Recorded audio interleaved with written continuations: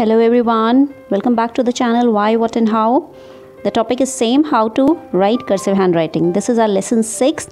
सो मेरी रिक्वेस्ट है कि जिन्होंने भी अभी तक सब्सक्राइब नहीं किया है प्लीज़ कर लीजिए सो so दैट कि आपको सारे वीडियोस का बेनिफिट मिले जो कि आगे भी मैं बनाने वाली हूँ और हम पूरी कर्सिव हैंड राइटिंग उसमें कवर कर लेंगे so and one more request जिन्होंने पहले के भी वीडियोस नहीं देखे हैं आप उनको देख लीजिए because we are moving step by step so initially हमने स्टार्ट किया था स्ट्रोक से then we are on letters so वो सारे वीडियोज़ भी बहुत बहुत ज़रूरी हैं। And I hope all the videos are helpful to you तो मुझे कमेंट सेक्शन में ज़रूर बताइएगा कि आपको और किन किन चीज़ों के वीडियोस चाहिए। कौन से लेटर्स के या फिर वर्ड्स के या फिर सेंटेंसेस के कर्सिव हैंडराइटिंग में वीडियोस चाहिए तो मैं उनको ज़रूर बनाऊँगी आपके लिए।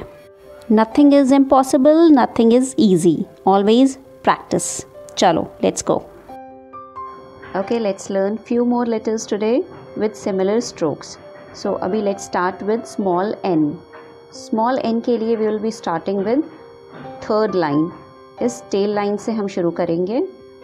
Okay let's create this line right ये पहला स्ट्रोक है देन इसको नीचे लेके आएँगे सेकेंड स्ट्रोक एंड अगेन इसी लाइन को ट्रेस करते हुए like this all right so let's do once again पहला stroke then straight line and इसी लाइन को कर्व करते हुए, along with the tail. All right? Let's do it again. First, second third and fourth first second third and fourth all right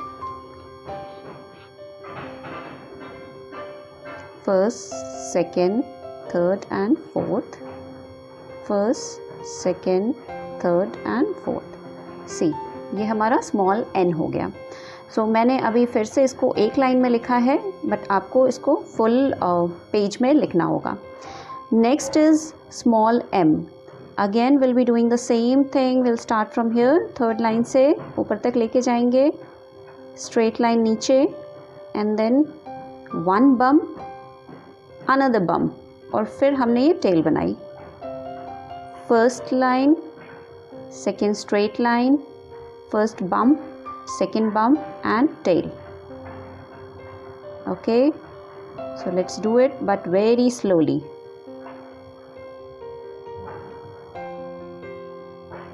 So so, already मैंने यहाँ पे partition किए हुए हैं। जैसे कि मैं आपको सारे वीडियोस में बोलती हूँ। ऑल राइट तो आप डिवाइड करके करेंगे तो इक्वल स्पेसिंग होगी फिर वो आपकी हैबिट बन जाएगी। लेटर ऑन जब आप वो लेटर्स uh, को कनेक्ट करेंगे तो आपको कॉलम्स ड्रॉ करने की ज़रूरत नहीं पड़ेगी।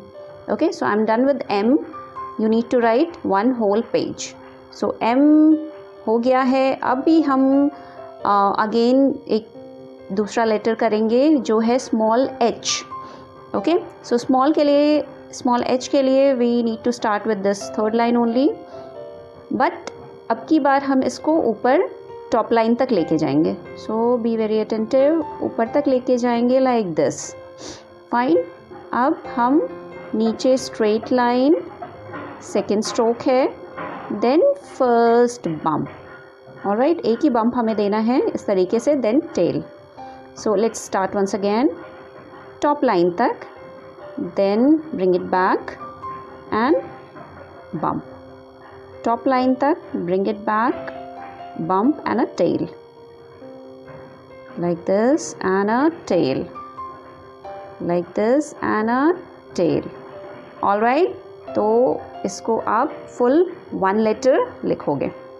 ओके नाउ अगेन जो दूसरा हमारा लेटर है, वो quite similar with the H है। So let's see what is that that is small P okay तो अभी हम फिर थर्ड लाइन से शुरू करेंगे।